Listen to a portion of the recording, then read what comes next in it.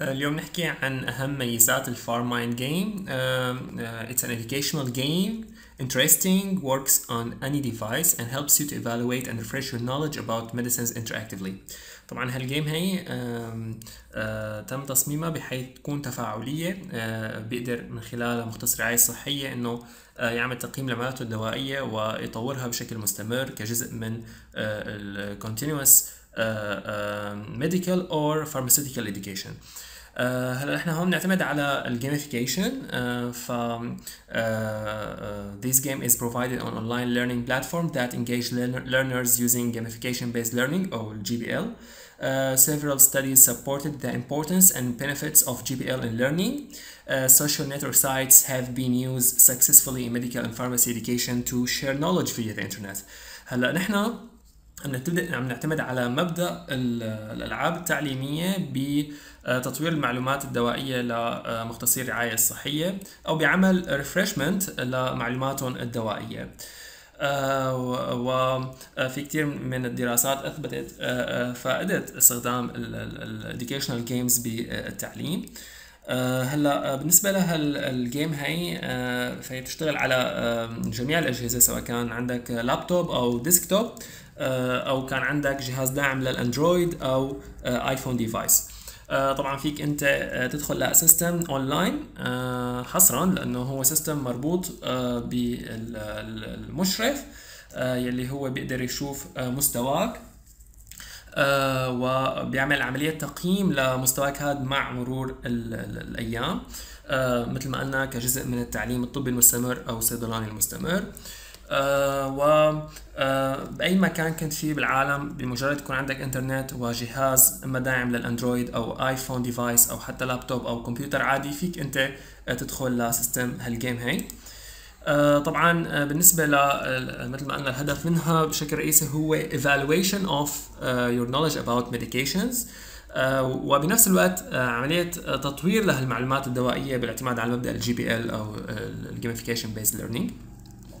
هلا آه، بالنسبة لل pharmacy game هي بتحوي على آه، مئات الأسئلة الدوائية الشائعة آه، سواء كانت من ال literature أو حتى من الأسئلة اللي بيطرحوها الصيادله أو الأطباء أو بقيه مختصي الرعايه الصحيه أو حتى المرضى علينا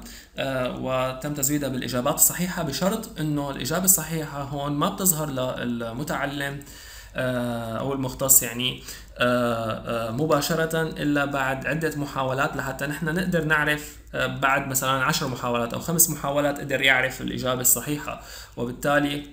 نقدر نحن هون آه، نعرف المستوى ال- ال- ال- الحقيقي للمتعلم ونفس الوقت نعرف وين نقاط الضعف يلي هو عنده ضعف فيها. علما إنه الأسئلة هي العلاقة بال therapeutics بال clinical pharmacy and pharmacy practice وفي أسئلة صعبة في أسئلة سهلة في أسئلة متوسطة الصعوبة في كيس ستديز و آه، نحن آه، آه، يعني حاولنا انه نقدمها باللغتين العربية والإنجليزية. آه، ف آم، معظم الصيادله وطلاب صيدله العرب بآخر بحث اجريناه م، بعام 2016 آه، كانوا هن بفضلوا اللغتين هدول اللغتين العربية والإنجليزية يعني لا العربي لحالها ولا الإنجليزية لحالها. آه، في آه، آه، طلاب بيفضلوا اللغة العربية في طلاب لا هن دارسين مثلا بجامعات بدول تانية بيفضلوا الإنجليزية وفي منهم واللي هن الأغلبية بيفضلوا اللغتين فمشان هيك نحن عملناها باللغتين طبعا في certificate of achievement إذا كان المتعلم هون حقق score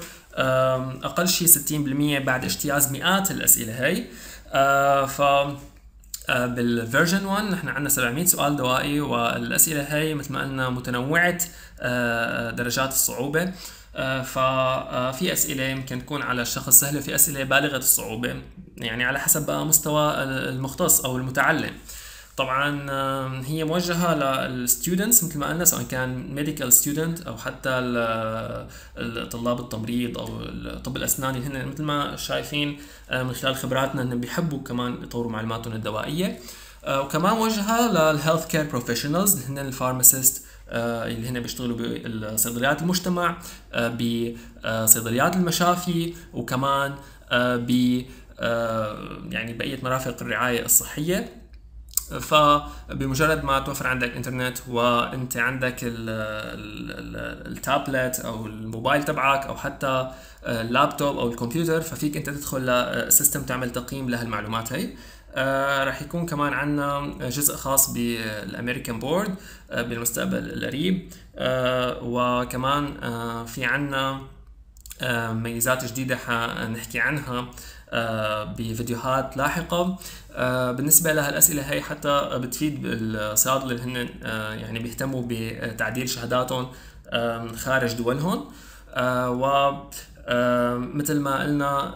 الأسئلة هي متعلقة بال therapeutics يعني بشكل رئيسي. ففي بعض الأطباء مثلا سألوني أنا مثلا فيني أستفيد من الأسئلة هي باعتبار أنه هي موجهة بشكل رئيسي للصيادلة آه، ولا ما فيني أستفيد. طبعا الأطباء فيهن يستفيدوا. ال dentist مثل ما قلنا الممرضين أو حتى مثل ما قلنا ال students آه لأنه آه مثل ما بنعرف كل يوم في أدوية جديدة في معلومات دوائية جديدة في أدوية بتنسحب من السوق الدوائية أدوية بتنزل. في أدوية عن جد إذا بتسمعوا اسمائها يعني أنا أحيانا شخصيا ما بقدر أحفظ اسم الدواء من كثر ما صعب فلازم نحن نعمل عملية يعني تحسين ل استذكار المعلومات الدوائية هي بطرق إبداعية أكثر وبتعلق آه، المعلومة بشكل آه، أفضل أوكي؟ أه بتمنى إنكم أه يعني تكونوا استمتعتوا بهالفيديو هذه اللي أنا حكيت فيه عن هم هالميزات هدول. آه وبالنسبة للفيديوهات فيه link آه موجود في آه طريقة مراسلة آه صفحتنا. فيكم تبعتوا الاسم مع التخصص آه آه ليتم آه تفعيل ال pharmacy game عندكم ومثل ما قلنا في ميزات تانية حنعمل لها فيديوهات بالمستقبل القريب حول بعض ال systems اللي بيقدروا يستخدموها صيادلة بصيدلياتهم من حيث إدارة آه، آه، الأدوية الموجودة عندهم المستحضرات الدوائية أو حتى عمليات جرد الأدوية بطريق بطرق إبداعية جدا آه، رائعة. و يعني بكبسة زر أنت فيك تعرف كثير من الأشياء يلي عم تجري ضمن صيدليتك عبر السيستم هذا إذا أنت بس قعدت فترة معينة برمجت فيه كل المستحضرات الموجودة عندك وعرفت شو عم يصير يعني إذا كان أنت عندك آه، موظفين عم يشتغلوا على آه، بقلب الصيدليه هي فهن عم يقدروا يتابعوا آه، حركة الأدوية سواء دخولها أو خروجها مع جرد الأدوية إلى آخره. ففي كتير ميزات تانية كمان حأعمل عنها فيديوهات تانية بس بتمنى إنه يعني انه حاولوا قدر الإمكان دائما تطوروا يعني مستواكم بالتكنولوجيا لأنه إحنا عصرنا عصر آه، مليء بالميزات التكنولوجية آه، وهلأ عم نشوفها عم يتم استخدامها بال health care آه، ف تابعونا دوما وإن شاء الله يعني حتستفيدوا من هال videos هدول و يعني تفتح لكم آفاق ل ميزات وأفكار جديدة فيكم تستخدموها أثناء ممارستكم سواء كنتم مثل ما قلنا بالصيدليات أو بالمشافي. Thank you really for watching and stay tuned.